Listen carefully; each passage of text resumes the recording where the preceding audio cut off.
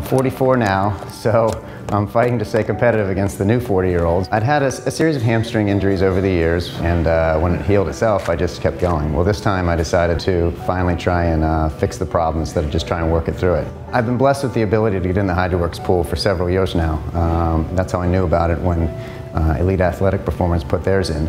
You know, between the warm water, the resistance, and the lack of impact on your joints. I wish everybody had a chance to get in one and try it.